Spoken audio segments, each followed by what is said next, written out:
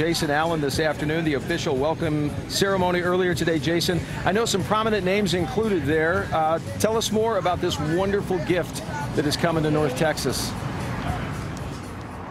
Doug, some prominent names who have had some, some, success really at building new homes, and obviously one of them still under construction back here behind us right now. And the new museum expected to be in this same space, within walking distance of the homes of the Rangers and the Cowboys.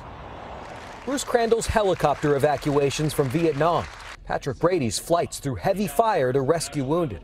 Doc Ballard's jump onto a grenade to save his unit. Their stories were a preview Friday of the 3,500 that will be on display when the Medal of Honor Museum finally arrives in North Texas.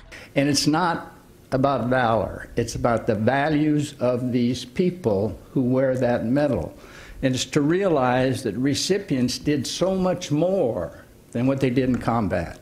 It has been a battle for the museum's foundation to see its vision realized. Past designs and a site in South Carolina didn't work out. But with Texas congressional members backing it and with the owners of the Texas Rangers and Dallas Cowboys as supportive future neighbors, an opening in Arlington is expected within five years. And with the national attitude that I see today, this is more important today than it's ever been in our history. Personally, as well as, if you will, the NFL.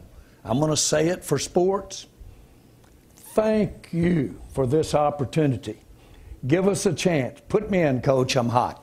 Jerry Jones promised to lend the valuable exposure of the Cowboys' national TV presence to build awareness of the project, which is expected to be far more than a collection of stories from combat.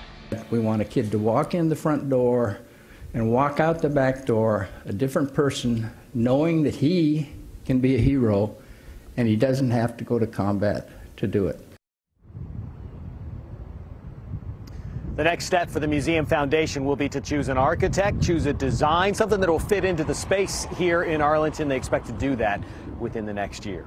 Live in Arlington tonight, Jason Allen, CBS 11 News.